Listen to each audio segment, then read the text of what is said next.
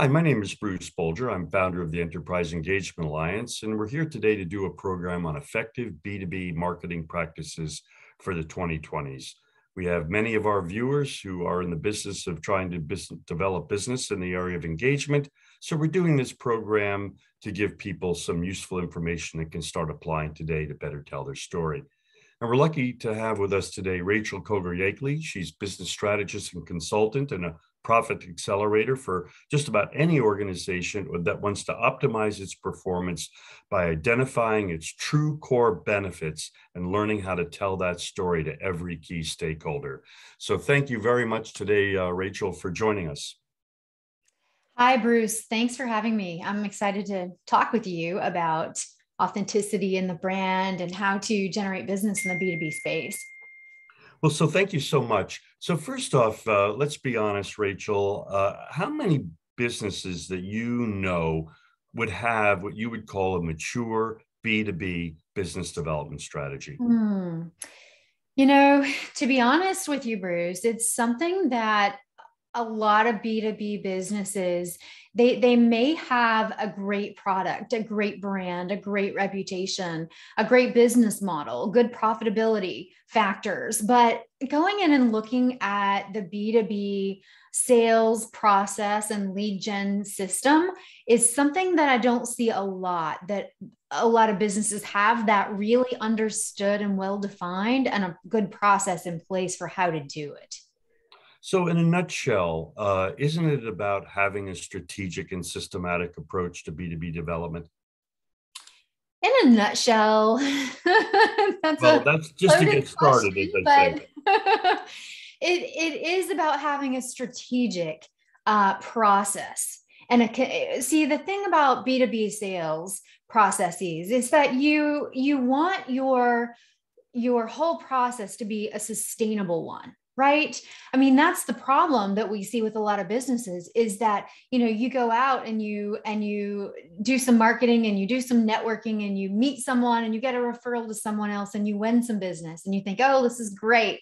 We're doing it right. But what's the sustainability factor of that right? How are you going to keep business coming in next month and the next month and the next month um, as opposed to the just going out and seeing what you get approach? And that's where in a nutshell, having a process that's very strategic um, and, and process driven.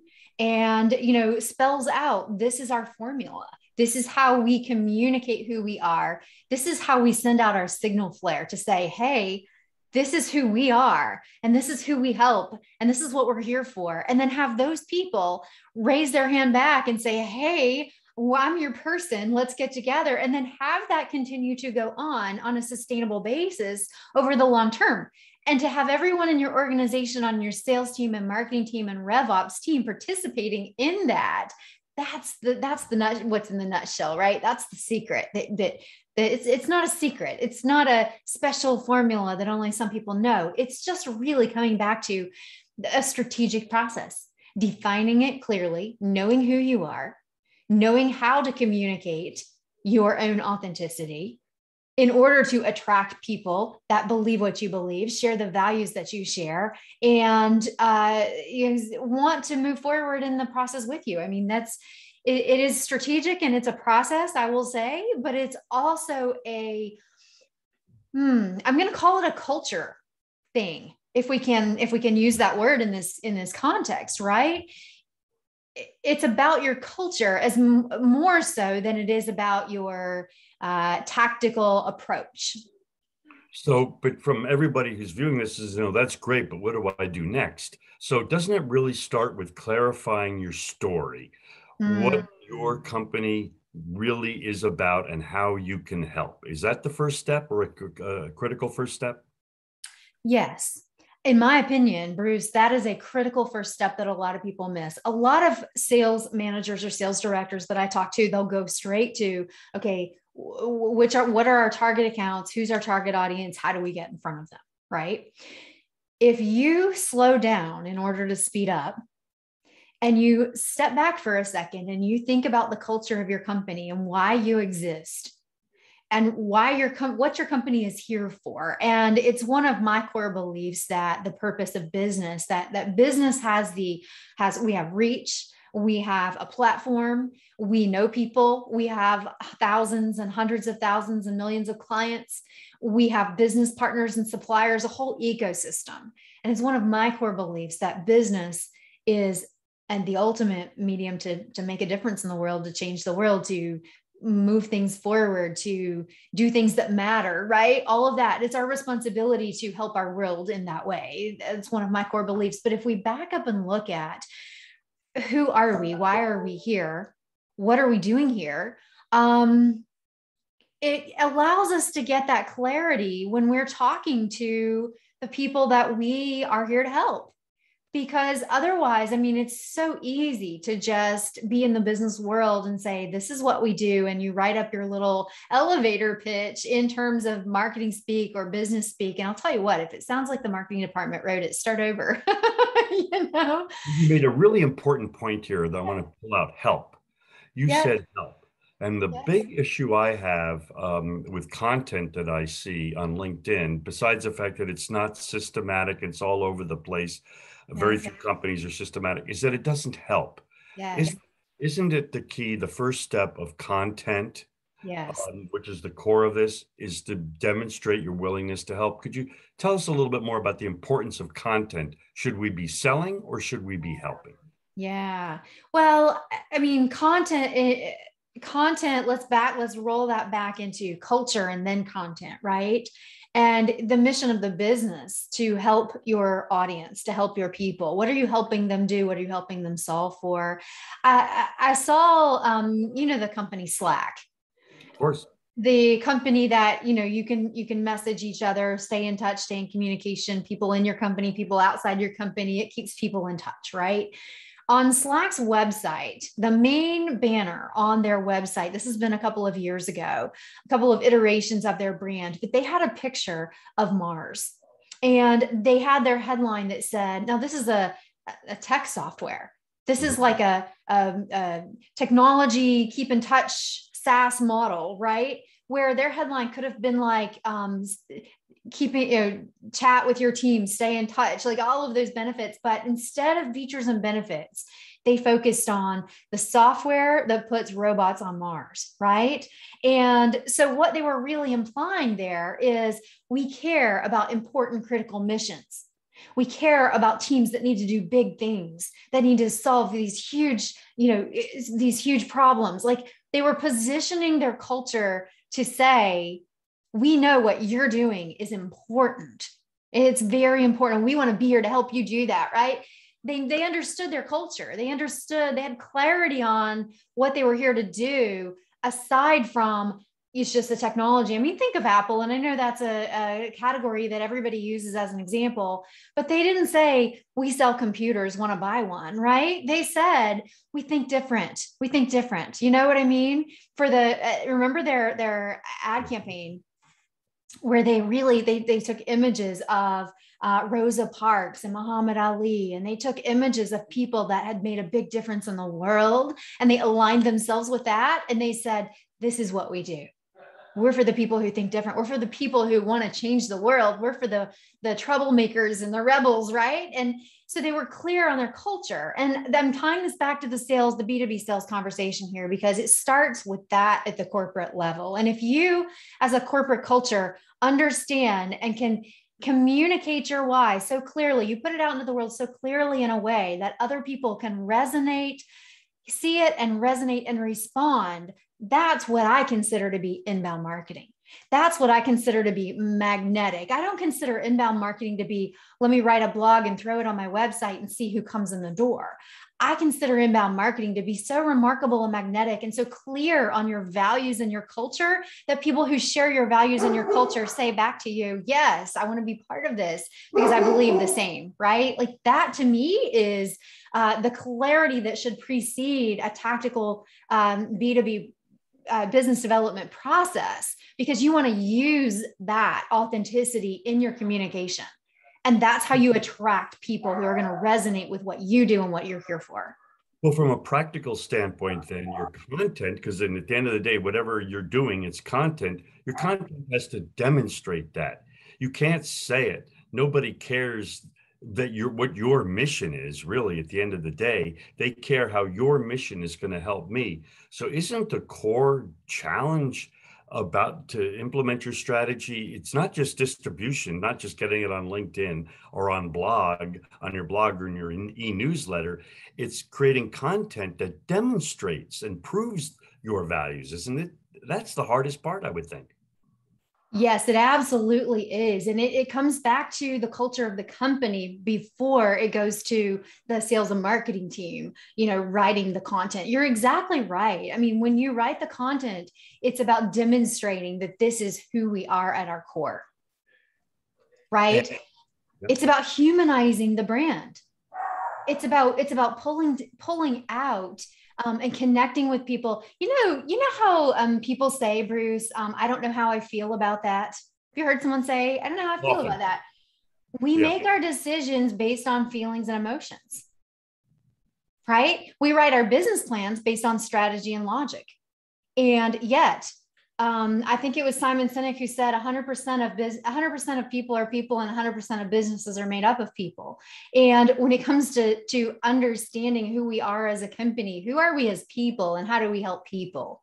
And that is a core. I call this in, in defining this with a sales team. When I go in and work with sales teams and, and corporate CEOs, I, I define this as this, we call this your signal flare because it's sending out, it's saying, hey, this is you know being transparent and being authentic and being clear and being able to clearly communicate that um, that's your signal flare. And if you've got a strong signal flare going into a sales process that's where that attraction piece and that magnetic piece really works well together.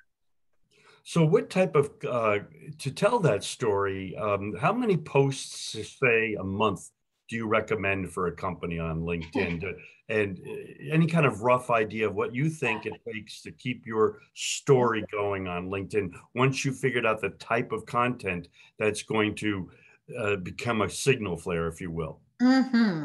Well, so so you define that, and then when you go to LinkedIn and you start to connect with your audience, there's there's a few different ways. I mean, there's all kinds of people teaching you here's how to use LinkedIn to generate leads, right? And a lot of those processes uh, there's some good mixed in with some bad you know things there. And marketers are smart. They figure out how to game the system. And if we post x number of times we're going to get x yield and it's a numbers game and all that. But to me that's no different than a cold calling strategy from years and years ago right? It's it's the same general paradigm. And I like to look at LinkedIn as a as a paradigm shift in that LinkedIn to me is not a social media platform. LinkedIn to me is not a place, a microphone for me to go yell some things out to a crowd, right? LinkedIn is a it's a networking event it's a it's speaking on a stage it's it's being a thought leader and it's networking with people if you walk into a chamber of commerce networking event or any kind of networking event and your goal is to give two business cards to every person in the room. You're doing it wrong right? And that's the same with linkedin. I mean you go you go into a networking event and your goal should be to identify it through conversation and relationship the six or seven people there that you can go ahead and that you can help. And you go ahead and you schedule a time to talk with them later about how you two can work together. That's that's the way to network. And so when we get on linkedin and you're building relationships with people um, it's number one you you want to post because you want to you want to be that thought leader. You want to lead the conversations.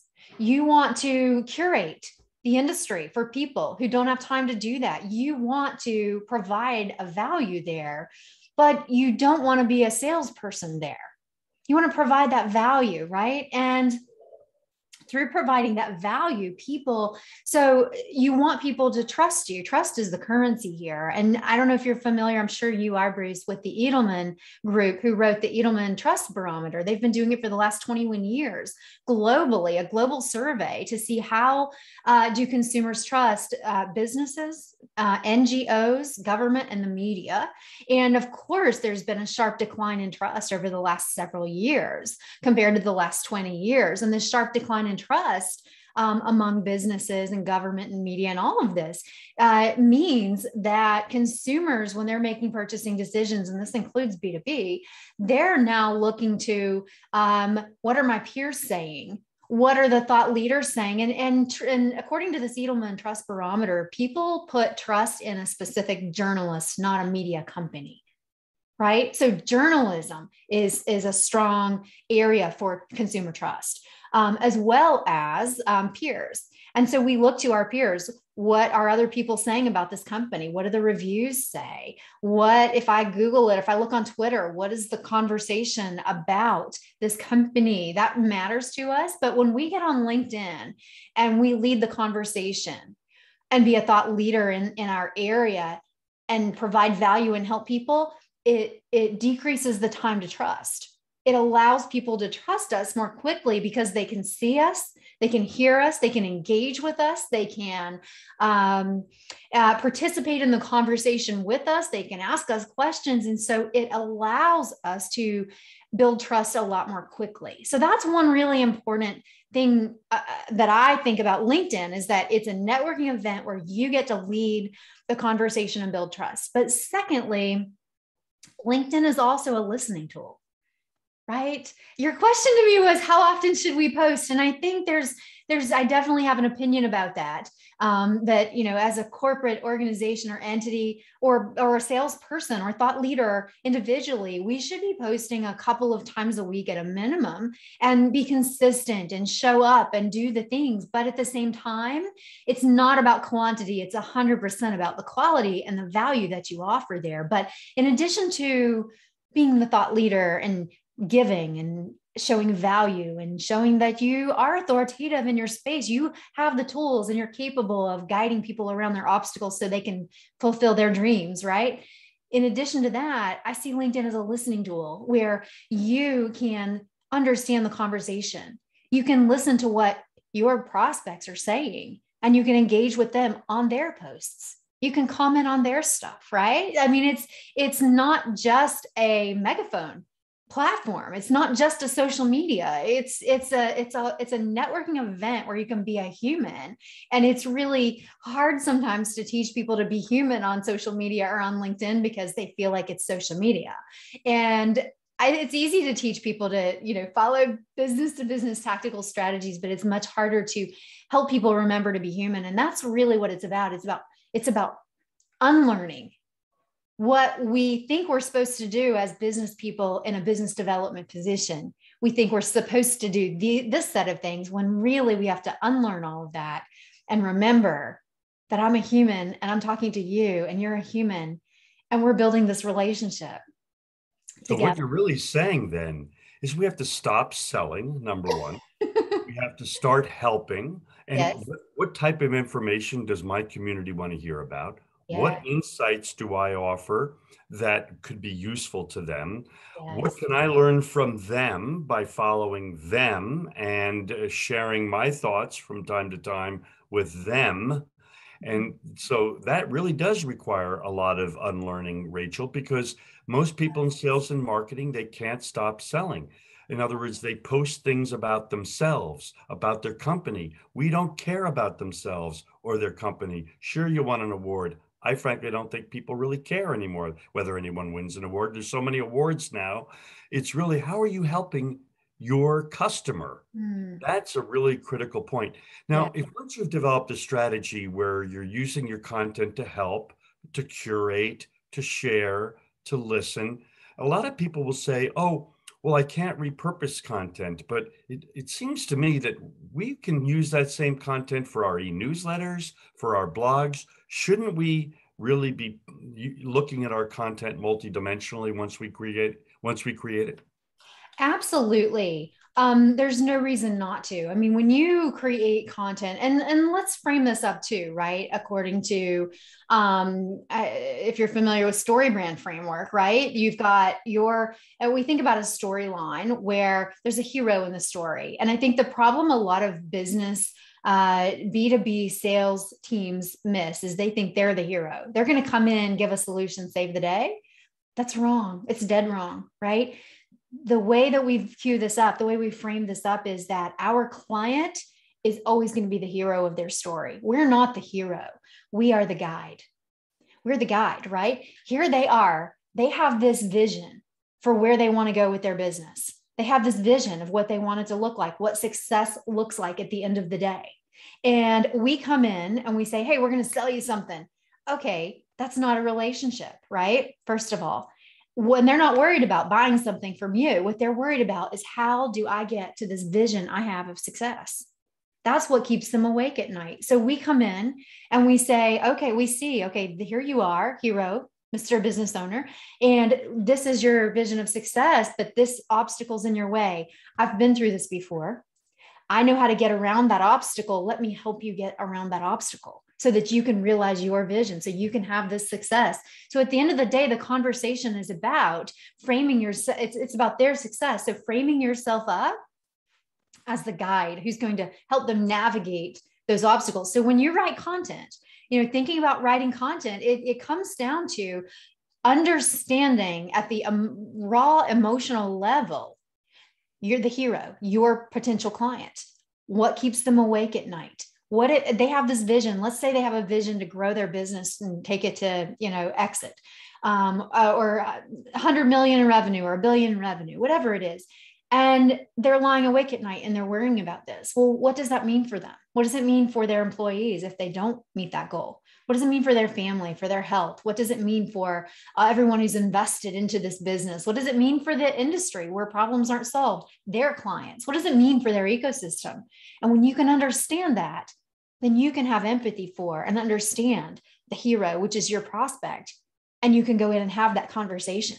Because here's the thing people say that if you can explain someone's problem to them better than they can, they automatically trust you, right? So here we are again back to this trust factor. And so when you're having the conversation, you're you the more you can dig into their problems and explain it better than they can so they know you know what they're feeling. The trust factor is there. And then they know you know how to help them get around it they want to work with you. They want your help to help make them the hero to solve their problem. And so when you go to write content, if you're writing content about their problems that you deeply understand, and you're writing content how to navigate their obstacles that they lie awake at night and worry about, they want your help. No, you don't have to sell yourself at that point. They're coming to you asking, help me do this because they understand that you understand how to do it. So your content should focus on the pain points and the problems and the obstacles in the way of your uh, target audience, your ideal client profile, taking them from the current state of where they are stuck to their vision of ultimate success. Now, well, Rachel, I have to interrupt you because this really begs a real issue. Yeah most executives, they're not journalists. They're not the, the marketing people are not trained to be journalists. Yeah. I see companies that go out and hire young, you know, millennials to run their social media who have no experience in business. There's no possible way that they can make provide real insights for yeah. the decision maker. How do companies in fact, I personally look for business journalists to do social media for B2B. Yes. Um, are businesses recognizing that the that the nature of the content is critical and that they can't just farm that out to some little unexperienced person? You know, do they do they realize that? I'm not sure. I'm not sure about that. I think in some cases they do. And I'll tell you that it seems so easy to get a freelance writer and create some content on the side and post it and check a box. But that's it's at the end of the day, it doesn't work. That trust factor, right? The, uh, the in the Edelman Trust Barometer, consumers are savvy and we have to give them the benefit of the doubt. They see right through that and they know if someone knows their stuff or not. They know if your content is ghost written. I mean, come on, it's not about the content, it's about the thought leadership behind it, right? My a couple of my most successful clients when it came to content strategy and inbound marketing were the clients i remember a group down in atlanta. This is this has been 10 years ago. I mean they were leading this back when um, at the beginning. This was probably 15 maybe 12 13 years ago. Uh, the executive team sat in the boardroom around the board table right? All the c level people. And they said what can we what can we write about what do you want us to share? How can we share helpful information? And we whiteboarded this together, and they all took a turn writing articles and providing content to the marketing team that the marketing team could then repurpose it seven ways from Sunday, right? We could then take the marketing, uh, the blog, and we could turn it into an ebook and we could expand uh, and turn it into a slide deck for a slide share for LinkedIn. And we get a carousel uh, piece and some Instagram posts and things like that. But the original thought leadership, Bruce, came from the thought leaders in the business. And they were my they were the most successful I've seen at content marketing for lead generation. You know, uh, whenever I see uh, LinkedIn uh, campaigns with little contests and quizzes, I almost always know, oh, there's a millennial in the room. he or she doesn't really have a clue, but uh, I'm going to come up with something. And it because it, yeah, authenticity and the expertise cannot be faked. Now, it, let me ask you this: yeah. um, a lot of people are buying into these LinkedIn machines where. Mm. Um, they promise you they're going to connect you with 20 or 30 people a, a week or month. Mm-hmm. What do mm-hmm. you think of those strategies? Mm-hmm. Well, I think true authenticity and relationship building can't be forced, right? I, it can't be faked. Um, I think there are lots of uh, LinkedIn scams, right, going on to, to drive traffic one way that I and I and another thing that you called it LinkedIn farm. Another way I see people using LinkedIn is they say they understand the algorithm, and you know the more uh, comments that you get on your post within a certain amount of time after posting, the more the algorithm shows it out to people. So they'll get together with a group of friends and say, "I'll comment on yours, you comment on mine," and they get this little commenting farm going on. And I just have to laugh every time I see someone say, let's start a, a, a, group, a pod, right? And do this together because I see people saying that in random groups of business people, and it's not industry specific. Your target audience and my target audience are different. Why would I comment on your post? And so that your connections are all seeing my thoughts. And like it, it's just forged right? And it's it's not authentic. It doesn't work. Don't waste your time. Um, now where i do see uh, linkedin being very strategic for growing your audience and getting your message out there your signal flare like we talked about is if you're using linkedin uh, search in sales navigators specifically and you can drill into and you understand it starts with understanding your ideal client profile very clearly and succinctly and the emotions behind that right? But if you understand who they are, you can drill in and you can get a list in LinkedIn of people that would be a good fit for you if they're experiencing the problems that you solve and so you can get a very targeted list and from there you can you can uh, comment you can follow these people uh, you can put them in your sales navigator in linkedin and you can see put when they post you can provide a thoughtful response. You can show up and be of value and be helpful to these people who are your ideal client profile or ideal client audience. And, and you show up to the game there. You show up at the table. You show up to network. You show up to be of service.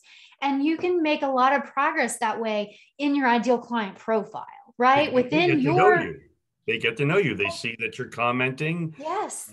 Yep and it decreases that time to trust among the people who are your buyers. So i, I don't want to say a blanket statement you know um, don't use linkedin to just go connect with a bunch of people and and you know all of that but use it strategically where you're specifically targeting your audience. And and earlier we talked about posting on linkedin and how often. And i want to go back to that here and say that there's you know the the posting and getting your message out and then the listening this is a good way to do that when you know who your audience is on linkedin and you're reading their posts and you're commenting thoughtful things and engaging in conversation on their posts that can be more effective sometimes than you writing some big long piece of content for your own uh, LinkedIn post. Now, I have my approach, what I teach people is to do both, but I teach to listen first, post second, right? Is more important to listen and engage with people and show up and be of service than it is to just broadcast your your message um, from the hilltops. But um, but that's my opinion about the about the LinkedIn systems and farms and things like that. Is you can't compromise authenticity and you can't compromise direct relationships with human to human And that's what you have to understand that you can do on LinkedIn. That it's not just a technology platform or a social media megaphone, but it is a relationship building tool. So, Rachel, uh, coming to the end of the close to the end of the program. So, I've got my story down. I've got my unique selling benefits down. I've got a content strategy that uses uh, useful information, insights, uh, curates, shares information.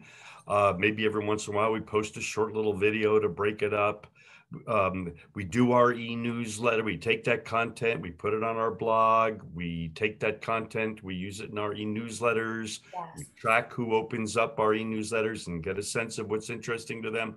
Yes. what can i expect from an inbound strategy? Um, will i get leads? Will i get uh, mm-hmm. inquiries? How will it affect my business if i do all of that right? Absolutely. I mean there's um, if, if you're doing this well and your team is trained to do this well, this will grow your business. Um, number one, it grows faster because you decrease your time to trust, right? So you're decreasing the length of your sales cycle.